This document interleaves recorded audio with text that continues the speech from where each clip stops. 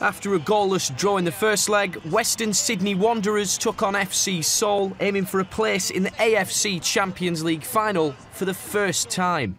And in front of their boisterous home support, the Wanderers took an early lead. Mateo Poljak with this long-range effort that ended up beating everybody in the box. This guy certainly liked it. FC Seoul pressed for an equaliser that would have given them the advantage due to the away goals rule. But Brendan Hamill was equal to it as he cleared the danger from under his own crossbar. And the Wanderers took a stride closer to that final when Labinot Haliti's cross was met by Shannon Cole at the back post. He made it 2 0.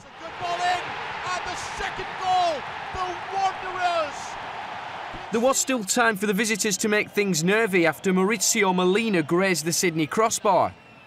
But that was as close as Seoul came as Sydney closed out the win.